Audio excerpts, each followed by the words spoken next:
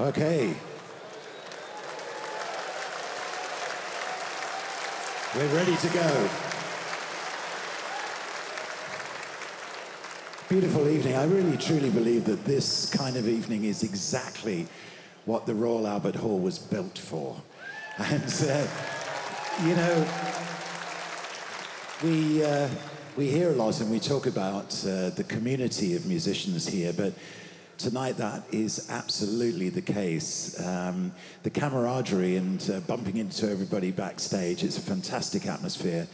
I really hope that you're enjoying the evening, and uh, the second half is just about to start. And I'm going to introduce somebody that has been on this stage many, many times through the years. I think probably the first time in the early 1960s. He was here for the concert for George. I don't know whether any of you were here for that. It was an absolutely magical night. And uh, he rounded off the evening with the most beautiful version of I'll See You in My Dreams, with all the flower petals coming down. And uh, in fact, I was on the stage here to introduce his 50th anniversary concert here a few years ago. He's one of my best friends, and it's such a pleasure to welcome to you Joe Brown.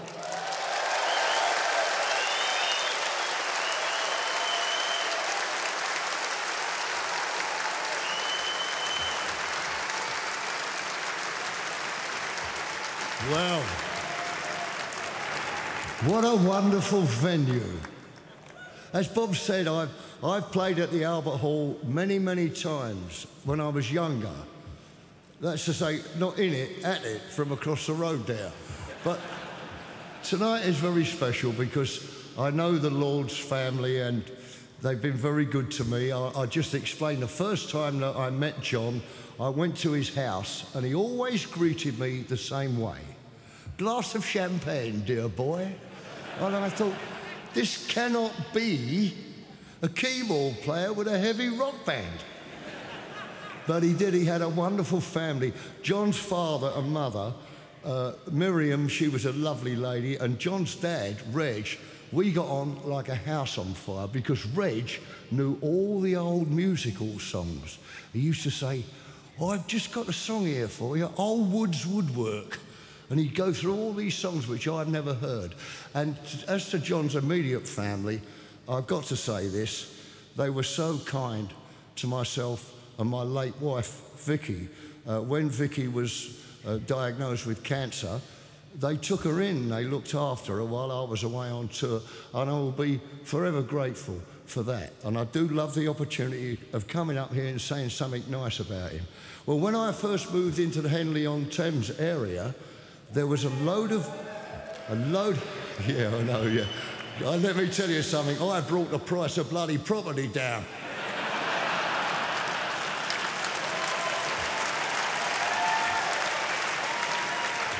But, you know, in those days there was great musicians that lived round there.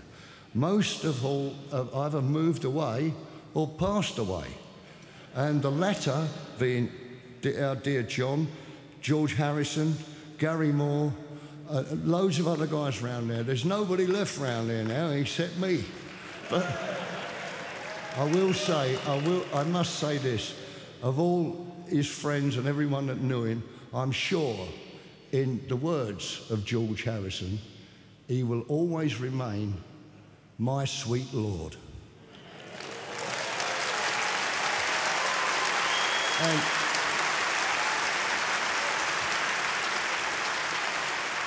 well, that's about all I've got to say, except I'd like to thank Albert for the use of the hall and introduce you to Paul Weller.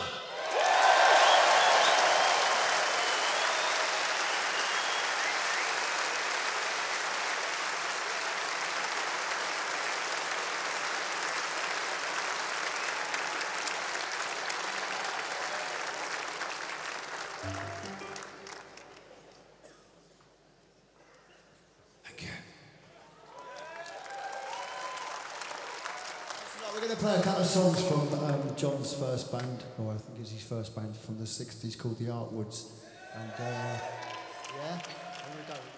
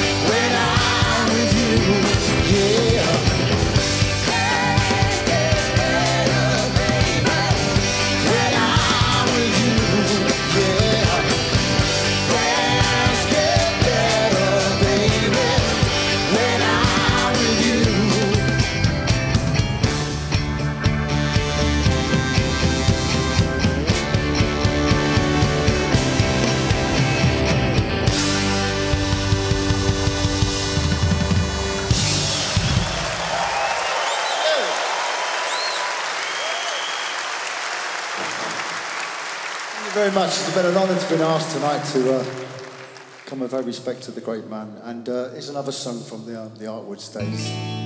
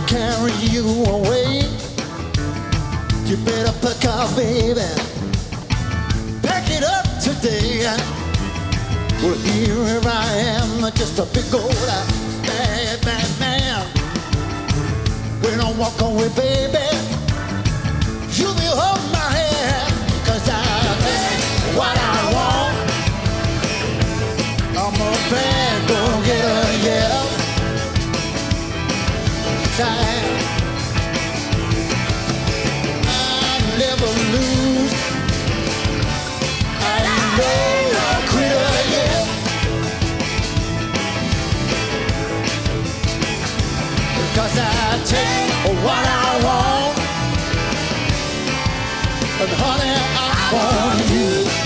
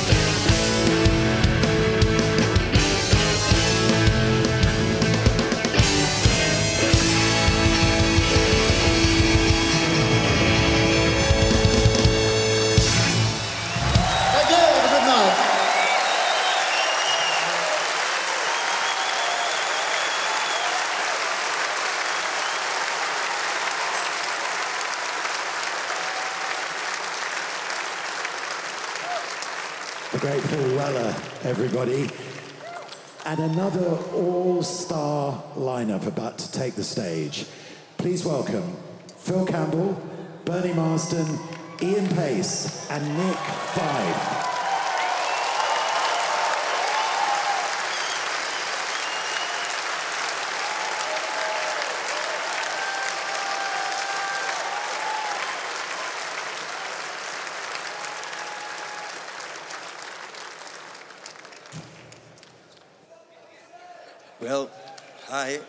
Um, this is Silas and Jerome.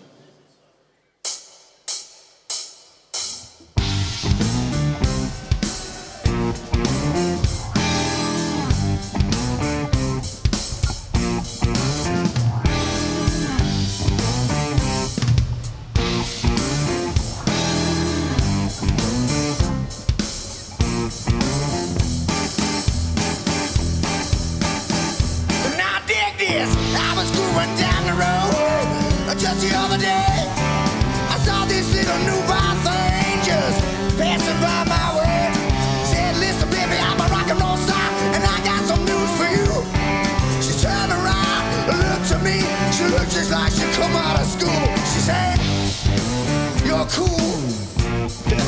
I said, that's true. No, she said, you're really cool, man. I said, so you, baby. She said, what time you play? Cause I might be able to stay. I thought I was beginning to get through. Smiled as I put my hand in my coat. I said, I'm the man for you. You looked at me with those big blue eyes. And she smoked the whole cigarette through. Said, we spell your play for man. I try to catch some air. She said, try to play a tight tonight. It'd be good if you got there. Oh. What?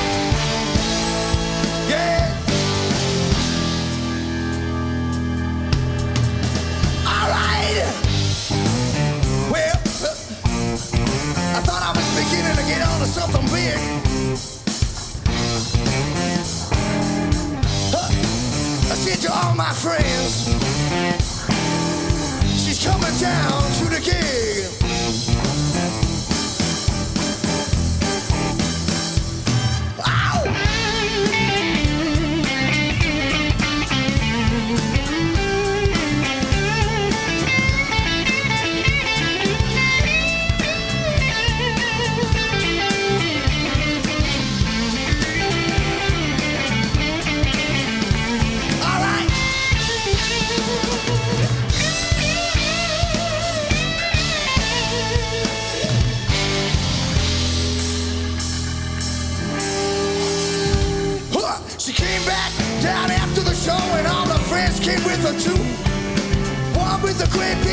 His face and one from the local zoo. I said, hey baby, can we go someplace? Just you and me alone. She said, this is my boyfriend Silas, man, and my big brother Jerome. I said, ah, shame on you. I could not believe it was true. But I suppose on the whole, that's rock and roll.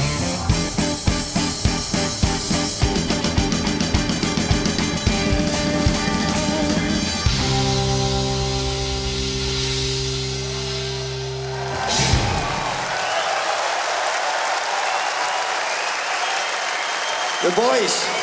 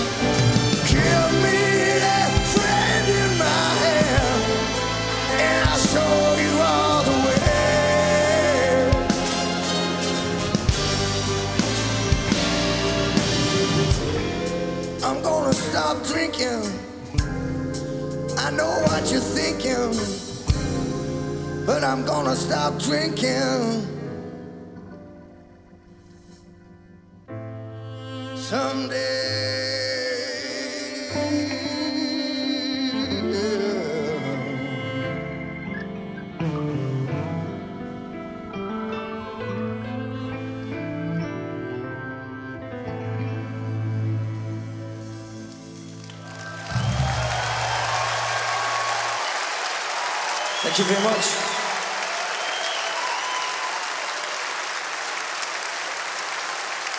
Thank you very much. It's a privilege to be here tonight.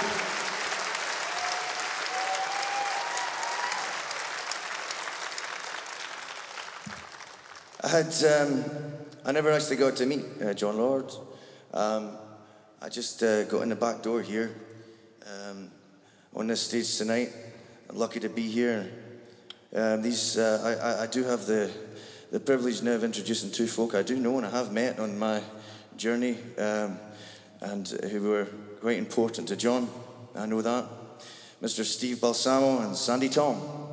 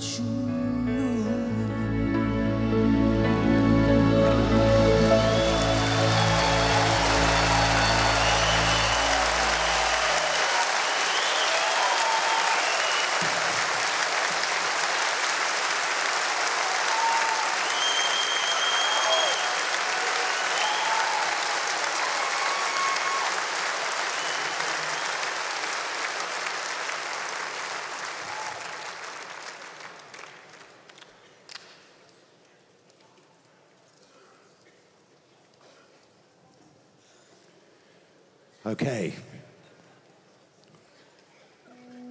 How about this then? First of all, would you welcome Glenn Hughes?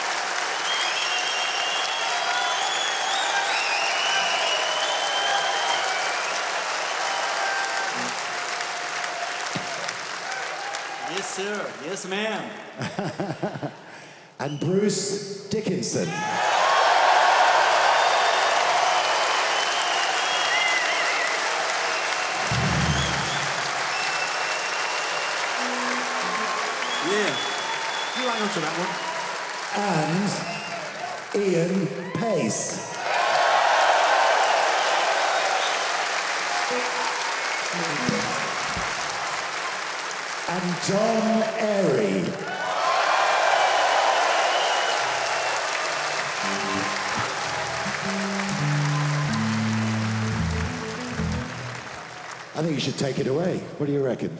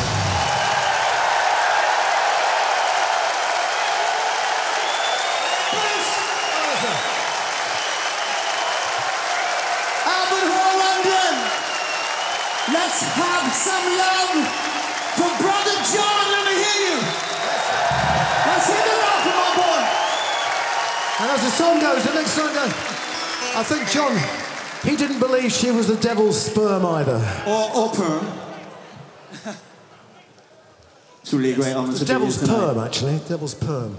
Devil's perm, or you can call it perm, but perm, perm is appropriate. Ah, but never mind. The people laughed till yes, she said, "She said, burn, burn." And that's what that's what we did.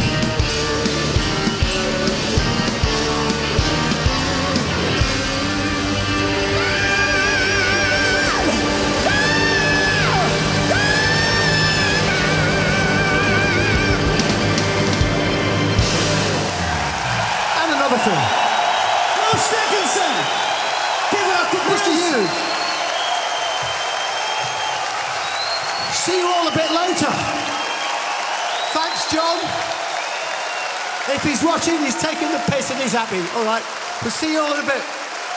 Not him. He's carrying on. How, how you feel? Give it up for Bruce. And please, please for Ian Paice, a friend of mine. I actually lived with Ian here. I was only 21 years old. I was asked to join this wonderful band called Deep Purple Mark III, which to this very day I'm really, really happy to say that it was a really extremely emotional time for me, musically and offstage. But things happened in that band which helped me to become somewhat of the man I am today. Thank you, Brother Jon. Thank you so much, Jon.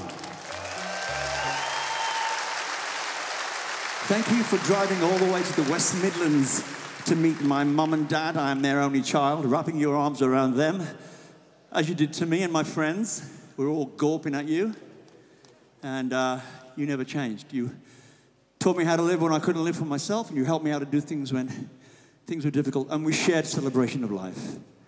And we shared laughter. Laughter was a huge thing for me and Jon. Love laughter. We choose happiness and we can choose life. And before I sing this song, uh, Jon, Jon and I were recording with Ian, David, and Ritchie in Musicland Studios in August of 75. And we'd been recording, and the guys did dinner, and Jon went, Jon and I went back to the studio just to mess around, and he started to play these minor nine, major seven chords, and it brought something up in me that needed to come out that night. So I'm going to sing a song that Jon and I wrote together. It's the only song we ever wrote together, completely together, and it uh, it's special. I hope you like it.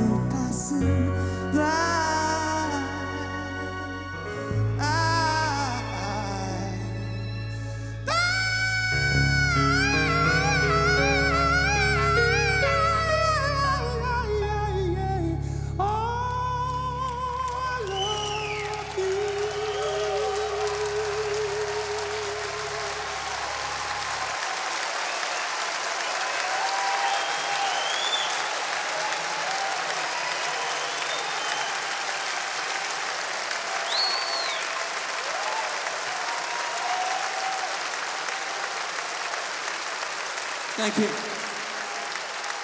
Mr. Clayton Hughes, ladies and gentlemen. Let's hear it.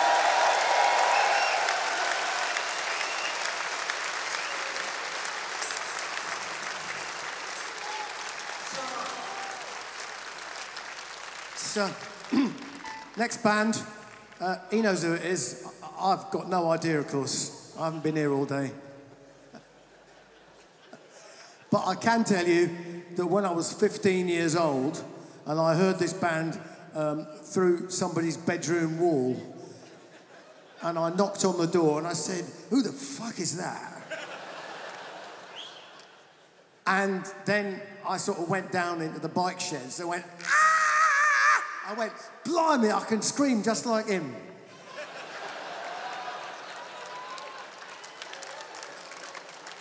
Except I couldn't, not quite. And then I decided that I wanted to be a drummer. Mainly because of the bloke who was the drummer. And then I discovered that I couldn't be a drummer either, not really, not as good as him. And the one phrase that confused me as a young adolescent 15 year old was a quote from Jon Lord, who in, in later life I got to know and got drunk with a few times and was a splendid chap. But I was a little bit unsure when I read, I think the sound of Deep Purple has a hell of a lot to do with my organ.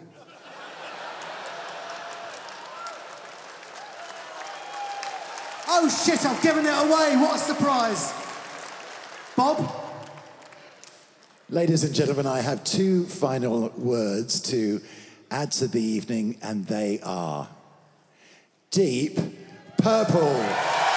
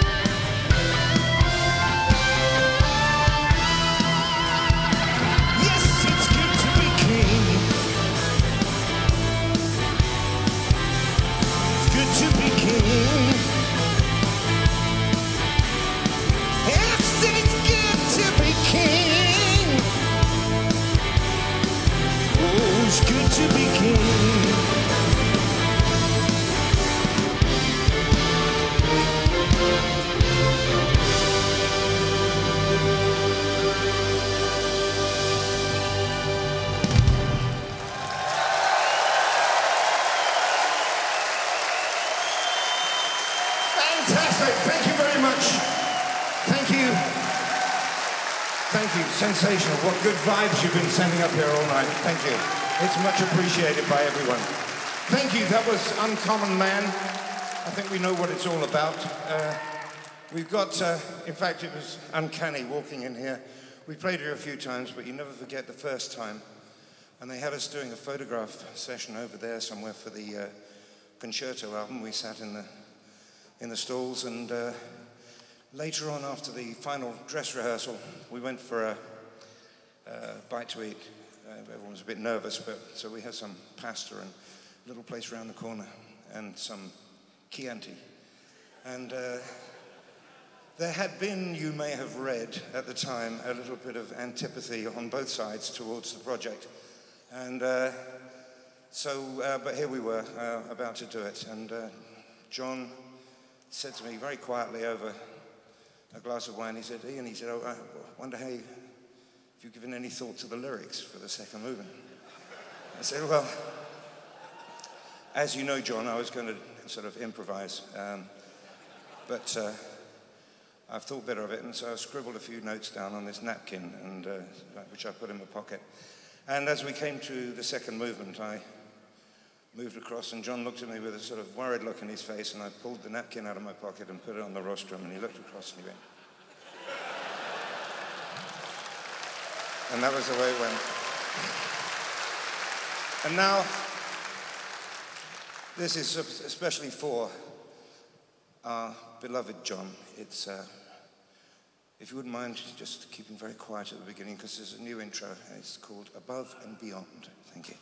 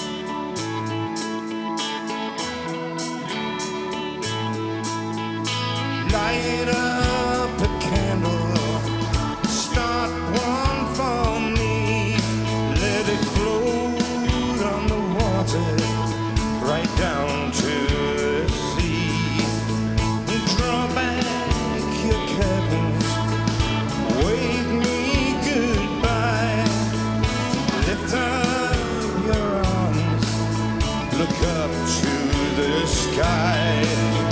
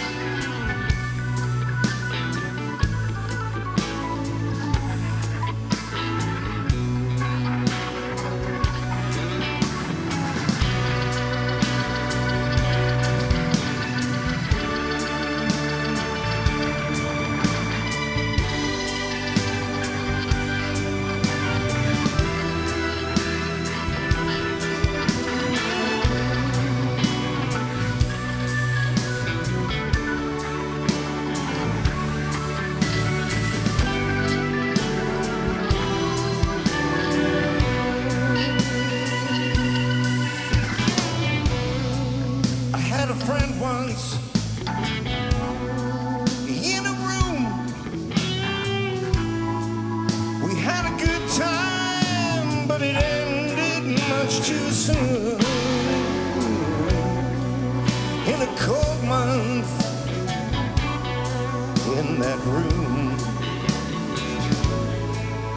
found a reason for the things we had to do. I'm a blind man. I'm a blind man.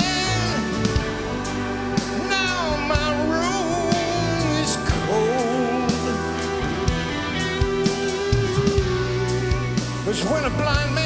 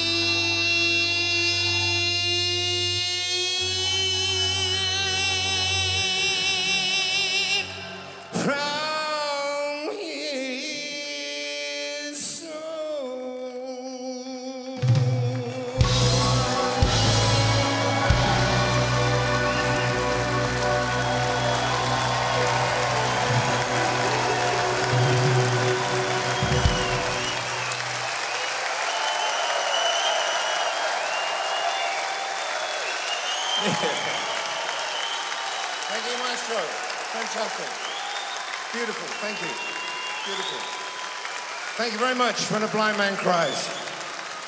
Thank you. Okay.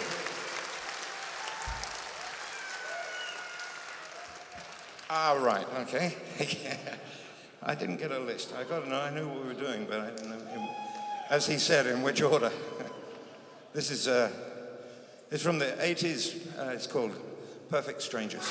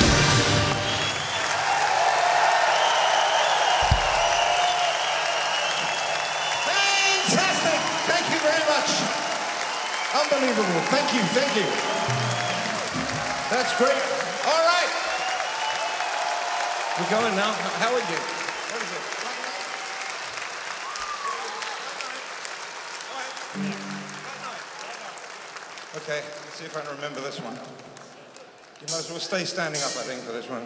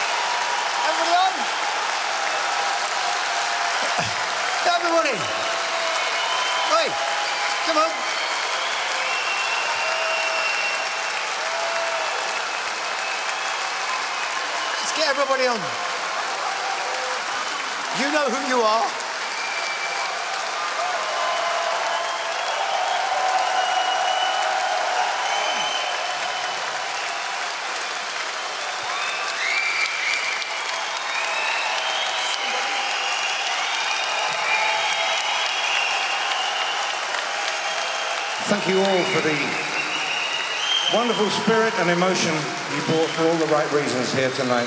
You sent some fantastic vibes down, and uh, we all know why we're here. So thank you very much. We love you. Take it easy. Bye bye.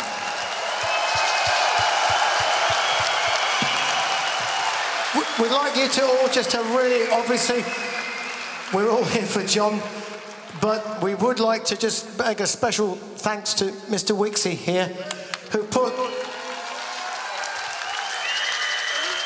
a bunch of rock musicians and organised them into a coherent whole, which is it's about 10 foot deep actually, but never mind.